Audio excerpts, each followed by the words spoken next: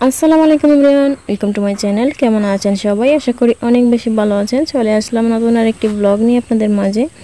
তো শুরু করলাম সকাল থেকে। আর এই তো এখানে হচ্ছে এখন দুইটা বাজে। তো দুইটার সময় আমি এখন রান্না করতে চলে আসলাম, নামাজ শেষ করার পর। আর এদিকে হচ্ছে সব কিছু রেডি করা হয়ে গেছে। এখানে কাতল মাছ দিয়ে হচ্ছে রান্না করব শশা দিয়ে শশা দিয়ে কাতল মাছের ঝোল রান্না করব। আর এদিকে হচ্ছে ডিম বিরিয়ানি রান্না করব। তো চালটা ভালো করে ধুয়ে তারপর পানি যাতে জড়ে যায়, সেজন্য একটা স্টিনারের মধ্যে রেখে দিয়েছে। আর এদিকে হচ্ছে আমি মাছটাকে ফ্রাই করার জন্য চলে আসলাম। তো হালকা একটু বেজে নেব মানে পুরো ক্রিস্পি করে বাজবো না। দিয়ে দিয়েছি ফ্রাই প্যানে তেল। তেল দেওয়ার পর তেলটা গরম হয়েছে। আমি এখন মাছটাকে হলুদ আর লবণ মেখে দিয়ে দিলাম তেলের মধ্যে।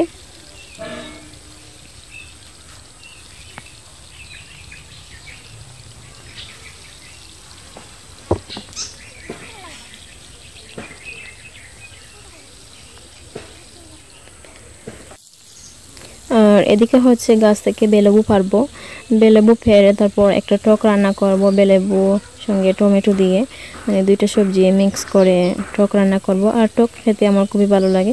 তরকারি, টক রান্না করলে মানে সবাই খুবই পছন্দ করেন। আমার ছোটো ভাই ওরাও কিন্তু খায়, আমার মতো পছন্দ করে। তো গাছ থেকে পেরে নিয়েছি, আর ওদিকে আমার বোন হচ্ছে বেলাবু ফেরে, তারপর কেটে করে দিচ্ছে আমাকে।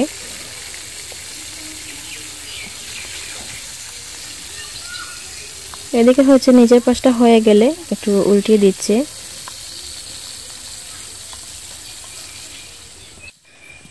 মাছ ফ্রাই করা আমার হয়ে গেল। এখন আমি তরকারির বাগার দিয়ে দেবো, সেজন্য কড়াই নিয়ে নিলাম। আর কড়াইয়ের মধ্যে আমি যে মাছের ফ্রাই করা তেল দিয়েছি, আর এই তেলটা অলরেডি গরমই আছে, সেজন্য আমি বাগার দিয়ে দিচ্ছি। দিয়ে দিলাম রসুন কুচি অল্প করে, আর পেঁয়াজ দিয়েছি আমি অল্প করে, এখানে দু টেবিল চামচের মতো হবে। তো আজ হচ্ছে একটু কম মশলা দিয়ে রান্না করব, সেজন্য কমিয়ে দিয়েছি।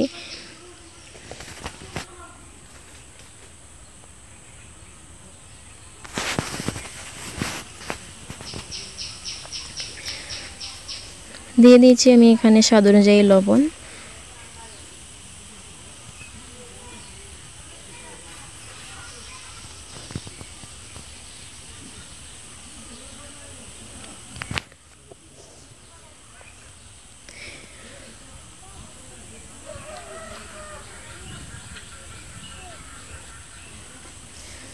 পেঁয়াজ, রসুন আমার ভাজা হয়ে গেছে, আমি এখন মশলা দিয়ে দিচ্ছি, মরিচের গুঁড়া দিয়ে দিলাম, দুই চা চামচ হলুদের গুঁড়ো হাফ চা চামচ ধনিয়ার গুঁড়ো দিয়েছি, হাফ চা চামচের চেয়ে মানে একটু কম। মশলাটাকে ভালো করে কষিয়ে নেব।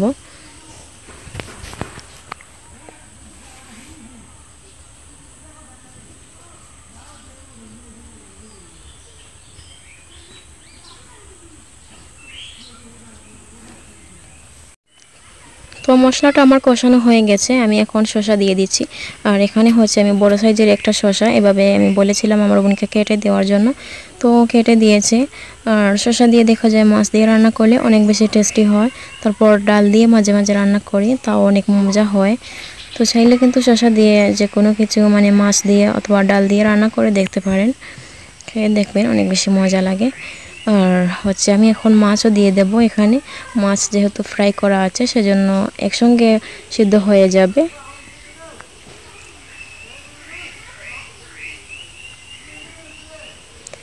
দিয়ে দিচ্ছি ফ্রাই করা কাতল মাছ।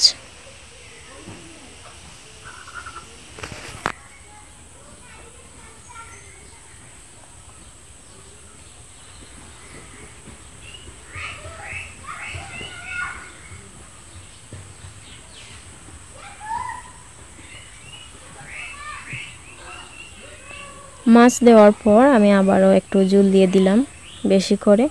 তো সিদ্ধ হওয়ার পর কিন্তু জুলটা আরও কমে যাবে। এখনও শশাটা সিদ্ধ হয়নি। ডাকনা দিয়ে ডেকে রাখলাম। আর এদিকে হচ্ছে আমি একটা বোম্বাই মরিচ এখানে ফাটিয়ে তারপর দিয়ে দিয়েছি একটু ফ্লেভারের জন্য। কাঁচামরিচ দেওয়া হয়নি আজ।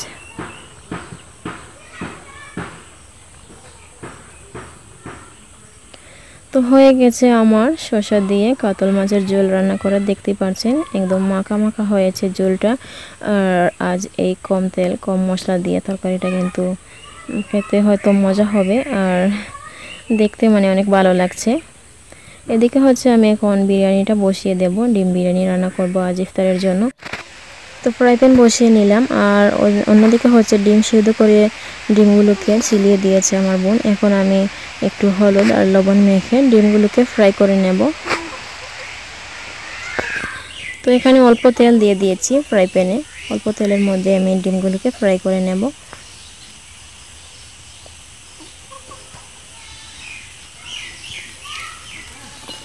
তো দেখতেই পারলেন ডিম আমার বাজা হয়ে গেছে। আমি এখন তুলে নিচ্ছি।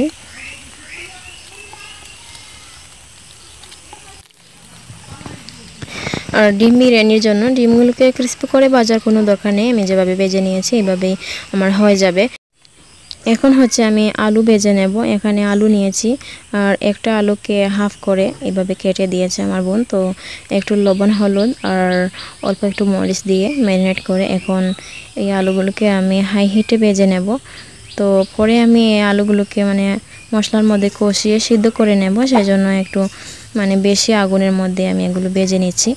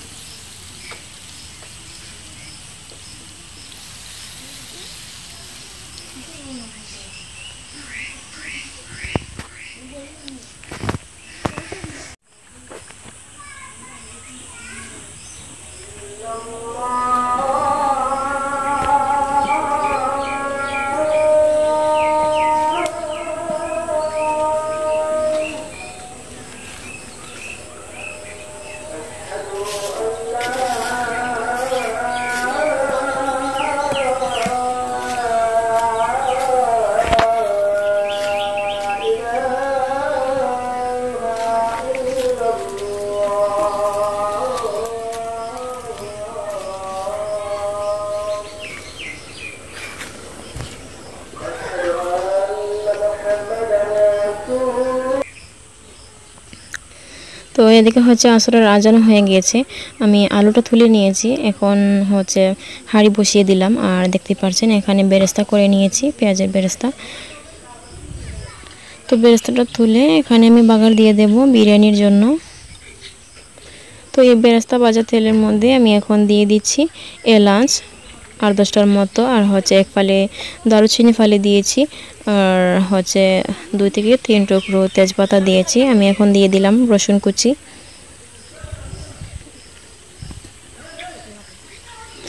দিয়ে দিলাম পেঁয়াজ কুচি। এখানে হচ্ছে ছোট সাইজের একটা পেঁয়াজ কুচি করে কেটে দিয়েছি। দিয়ে দিয়েছি আদা বাটা।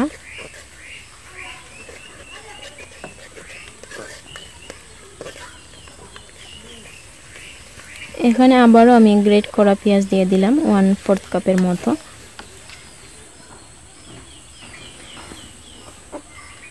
তো আমার পেঁয়াজ রসুন ভাজা হয়ে গেছে, দিয়ে দিচ্ছি গুঁড়া মশলা। মরিচের গুঁড়ো আমি দিয়ে দিলাম দুই চা চামচ। আর হচ্ছে স্বাদ অনুযায়ী লবণ দিয়ে দিয়েছি। আর এখানে হচ্ছে আমি যেহেতু এক কেজি চালের মানে ডিম বিরিয়ানি করছি, সেজন্য আমি এক প্যাকেট বিরিয়ানি মশলা নিয়ে নিয়েছি। তো পুরোটা প্যাকেট আমি এখানে দিয়ে দিলাম। দেওয়ার পর অল্প একটু পানি দিয়ে মশলাটাকে কষিয়ে নেব।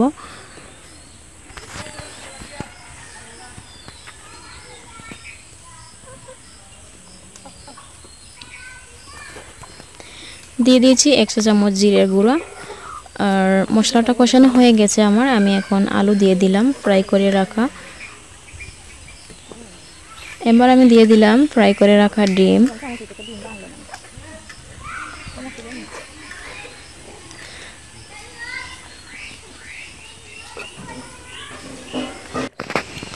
কিছুক্ষণ পর আমি ডিমগুলো তুলে নিচ্ছি আর এখানে আরও অল্প একটু পানি দিয়ে আলুগুলো ভালো করে সিদ্ধ করে নিতে হবে। ডিমের মধ্যে কিন্তু মশলা ঢোকার কোনো প্রয়োজন নেই, এতেই হয়ে যাবে। আলুগুলো আমার সিদ্ধ হয়ে গিয়েছে, আমি চেক করে নিয়েছি। এখন আমি পানি দিয়ে দেব। এখানে তিন কাপ চালের জন্য আমি ছয় কাপ পরিমাণ পানি দিয়ে দিচ্ছি। আর এই পানি যখন বলক চলে আসবে, তখনই আমি এখানে চাল দিয়ে দেব। আর অন্যদিকে হচ্ছে আমার বোন টমেটো টক রান্না করে নিয়েছে। তো ডাকনা দিয়ে ডেকে রাখলাম। এদিকে হচ্ছে বলক চলে এসেছে, আমি এখন চালটা দিয়ে দিয়েছি। দেওয়ার পর আমি নাড়াচাড়া করে, ভালোভাবে নাড়াচাড়া করে আমি ডাকনাটা ডেকে রাখব।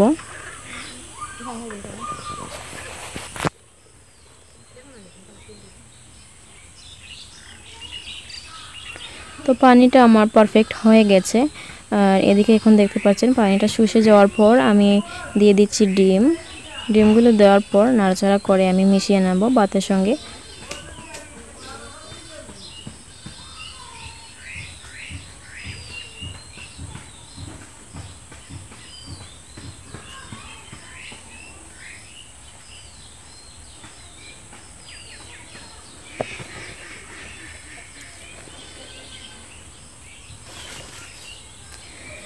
দিয়ে দিচ্ছি দশ বারোটার মতো আস্ত কাঁচামরিচ। এখন হচ্ছে আমি দমে রেখে দেব। আর চাইলে কিন্তু এখানে ঘিও দিতে পারবেন। আর কিসমুস দেওয়া যাবে। আমি আর এখানে ঘি দিচ্ছি না। ঘি আমাদের মানে শেষ হয়ে গিয়েছে। তো দিয়ে দিচ্ছি আমি এখানে দু চা চামচ গুঁড়ো দুধ। আর গুঁড়ো দুধ দেওয়ার কারণে কিন্তু অনেক মজা একটা ফ্লেভার আসবে এই বিরিয়ানির মধ্যে। এখন হচ্ছে আমি দশ বারো মিনিটের মতো দমে রেখে দেব। ডাকনাটা ডেকে আর এই তো আমার বিরিয়ানিটা হয়ে গেছে। আমি এখন উপর থেকে একটু বেরেস্তা ছিটিয়ে নিয়েছি। আর পেঁয়াজের বেরেস্তা দেওয়ার কারণে কিন্তু আরও সুন্দর একটা ফ্লেভার আসবে এই বিরিয়ানির মধ্যে থেকে।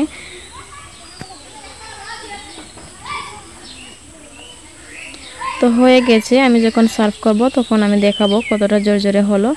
আর এদিকে হচ্ছে খুবই সিম্পল একটা পাকোড়া বানানো হবে। তো এখানে সিদ্ধ আলুর পাকোড়া বানানো হবে আজ। তো আলু সেদ্ধ করে নিয়েছে আমার বোন। এখন আলুগুলোকে এই তো হা দিয়ে এইভাবে করে ভেঙে নিচ্ছে। আর আলুগুলোকে একবারে মেশ করে ফেলা যাবে না বর্তার মতো। এইভাবে আধভাঙ্গা করে রাখতে হবে।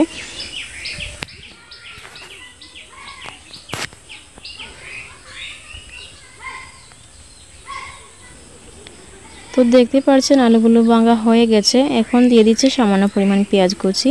আর এদিকে হচ্ছে শুকনো মরিচ নিয়েছে, চার পাঁচটার মতো শুকনো মরিচ, লবণ দিয়ে এখন ভেঙে নিয়েছে। আর এদিকে হচ্ছে আমি কর্নফ্লাওয়ার দিয়ে দিচ্ছি, দুই চা চামচ পরিমাণ। বেকিং পাউডার দিয়ে দিলাম, হাফ চা চামচ পরিমাণ। আর চাইলে কিন্তু এখানে কাঁচামরিচ দেওয়া যাবে, তারপর ধনে পাতা কুচিও দেওয়া যাবে। তো ধনে পাতা কুচি আমাদের ঘরে আজ নেই, শেষ হয়ে গিয়েছে। সেজন্য আর দিব না। আর এদিকে হচ্ছে ময়দা দিয়ে দিয়েছে হাফ কাপের মতো। ময়দা দেওয়ার পর আলতো হাতে এগুলোকে মেখে নিতে হবে।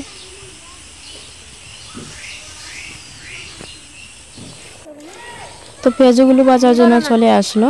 কড়াইয়ের মধ্যে তেলটা গরম করে নিয়েছে, পর্যাপ্ত পরিমাণ তেল। আর এখন হচ্ছে পেঁয়াজগুলো দিয়ে দিচ্ছে গরম তেলের মধ্যে। তো হাতে যেভাবে উঠে এইভাবে দিলে হবে। তেরা হলে কোনো সমস্যা নেই। আর দেখতে পাবেন কিছুক্ষণ পর অনেক সুন্দর কিন্তু ফুলে ফুলে উঠবে এই পেঁয়াজগুলো।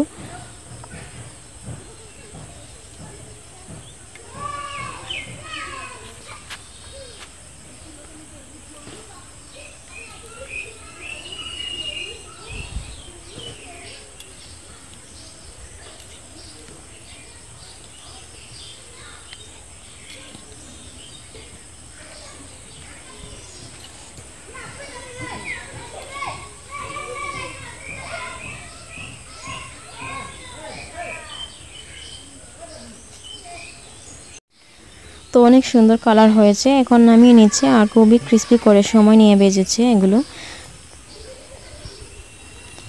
তো একটা টিস্যুর উপর রেখে দিচ্ছে। অতিরিক্ত তেলটা কিন্তু স্যুপ করে নেবে। আর একেভাবে সবগুলো পাকোড়া এখন বেজে নেবে। আর এদিক দিয়ে হচ্ছে আমি ইফতারটাও রেডি করে নেব। ইফতারের সময় হয়ে গিয়েছে তো। সবার জন্য বিরিয়ানি সার্ভ করে নিচ্ছি এখন প্লেটে আর দেখতেই পারছেন কতটা জোর জোরে হয়েছে। মনে হয়েছে মানে আকর্ষণীয় হয়েছে। আমার কাছে অনেক ভালো লাগছে। মানে এইভাবে বিরিয়ানি হবে, ভাবতেই পারিনি। অনেক সুন্দর হয়েছে দেখতে। আর খেয়ে বলব কীরকম হলো আমার আজকের ডিম বিরিয়ানি। আর অন্যদিকে হচ্ছে সালাদ বানিয়ে নিয়েছি একটু।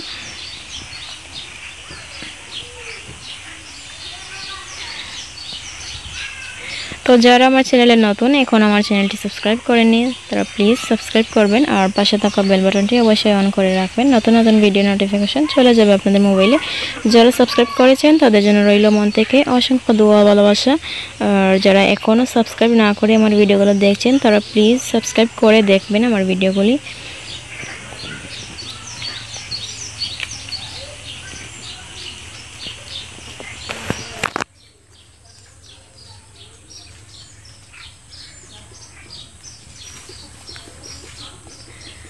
এই তো এদিকে পাকোড়া ফ্রাই হয়ে গিয়েছে, সবগুলো পাকোড়া নিয়ে এখন চলে এসেছে। দেখতে পারছেন কতটা সুন্দর হয়েছে আজকের সেদ্ধ আলুর এই পাকোড়া।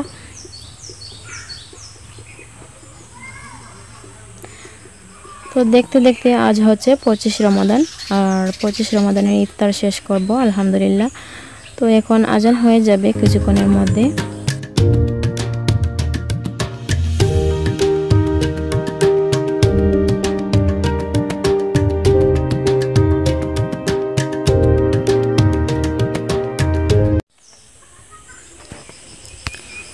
আজান হয়ে গেছে আলহামদুলিল্লাহ। তো খেজুর খেয়ে নিয়েছি প্রথমে।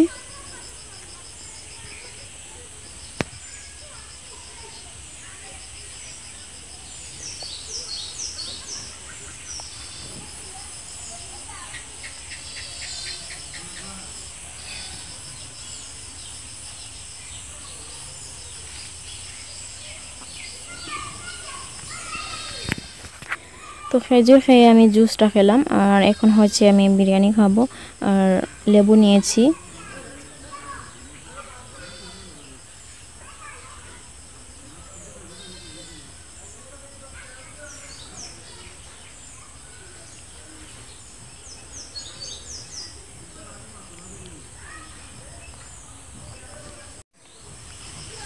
তো আলহামদুলিল্লাহ, আজকের বিরিয়ানি এত বেশি মজা হবে, ভাবতে পারিনি। মানে কম মশলা সব কিছু কমিয়ে কমিয়ে দিয়ে এত বেশি মজা হয়েছে বলে বোঝাতে পারব না, দেখতে পাচ্ছেন তো সবাই অনেক মজা করে খেয়ে নিচ্ছেন। আর পেঁয়াজুটা ভিতর নরম হয়েছে আর বাহির ক্রিস্পি হয়েছে। পেঁয়াজুটা কিন্তু অসাধারণ ছিল আজকে ইফতারে।